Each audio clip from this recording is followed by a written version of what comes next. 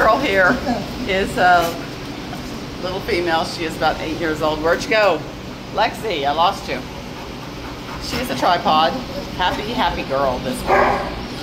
She um, loves to run back and forth, see what's going on. Um, she is an owner surrender.